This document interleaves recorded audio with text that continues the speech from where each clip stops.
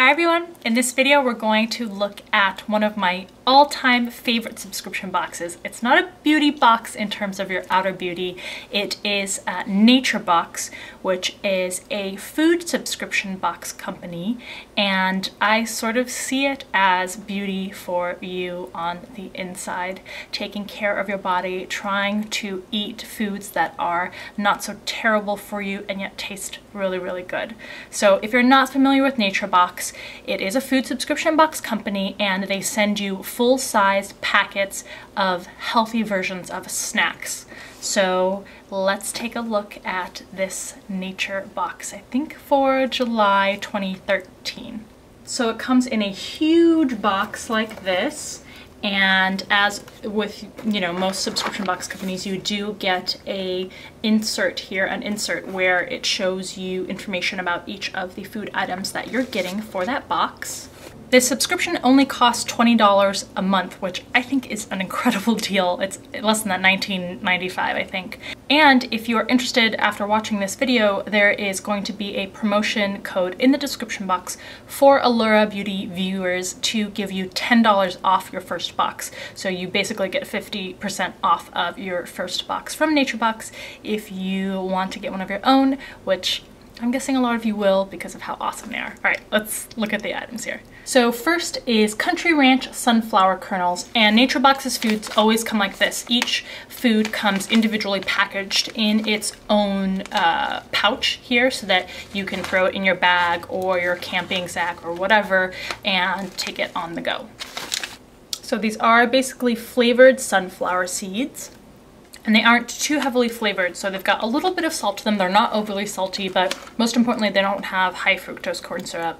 And the top ingredients are non-GMO sunflower kernels sunflower oil buttermilk powder salt rice syrup solids and etc I won't read the entire list for you but it's not um, sweetened with high fructose corn syrup which is terrible for you and you should basically never eat and it doesn't have a ton of other sugars. There's less than a gram of sugar in this. So there's the first food item. Next we have garden tomato almonds. So the ingredients are almonds, sugar, salt. Usually I'm not a big fan when the second ingredient is sugar, but if you look at the amount, there's only two grams of sugar in this whole thing. So it is basically just almonds and then some flavoring on them. And here's what they look like. So you can see the little crystallized uh, things of sugar and salt. Oh my gosh, these are so good. Um, it is mostly almonds, but that really tiny amount of seasoning on them makes a huge difference. These are really good. It's a mix of sweet and salty, which I love. Like I love kettle corn, for example. And the tomato taste, it's there now that I know that it's supposed to be there, but I don't think you otherwise would really notice the tomato taste to these.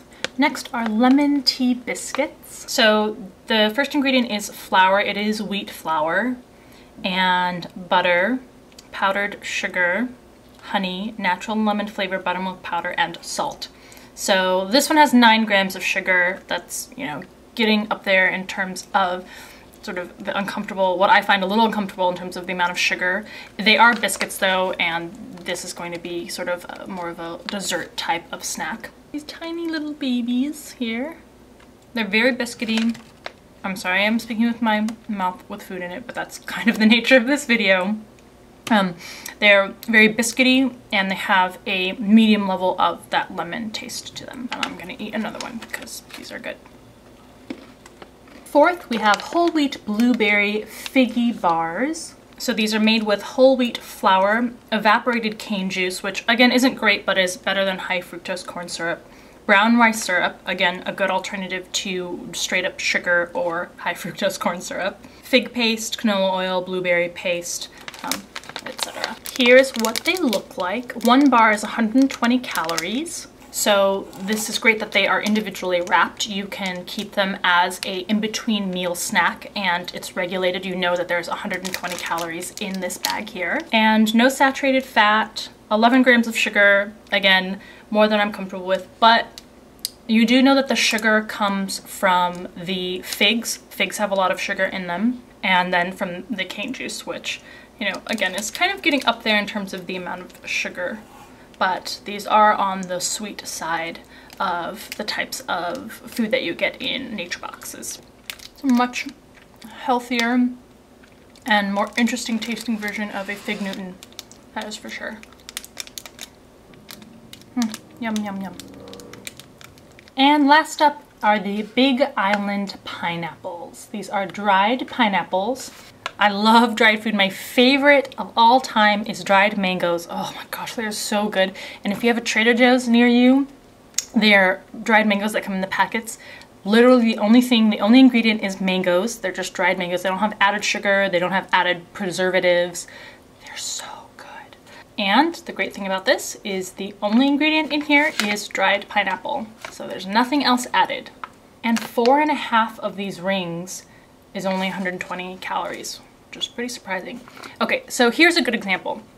This contains 13 grams of sugar, but all of that sugar is coming from the sugar that is naturally in fruit. Fruit is a very sweet uh, food uh, compared to something like um, vegetables, which don't have as much sugar in them. So that's, I, I guess I should sort of meter what I'm saying when I'm saying a lot of sugar is bad for you.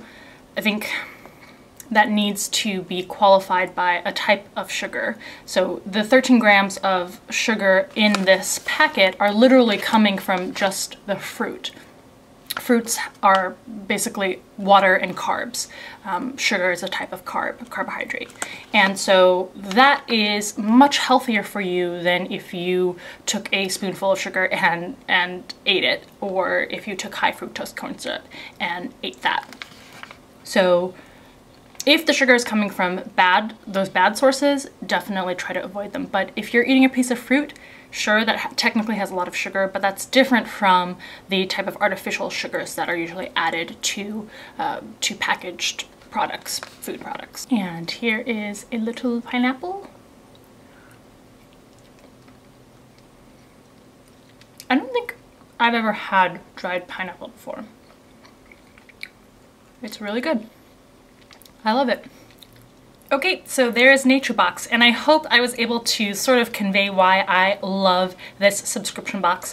It is, it isn't like you are getting a box of celery and it's boring and it doesn't taste good and you don't want to eat it and you just have to eat it because you're trying to be healthy. These are food items that you're going to want to eat and hopefully if you are someone especially you know if you're just someone who in general this is the type of food that you eat then great you get a variety and a selection that tastes good and that's prepared for you is easy to take on the go and doesn't cost that much a month. I mean you get five full-sized packets of food which individually probably if you bought them at a store would cost you know three to four dollars each. So four dollars times five is already twenty dollars.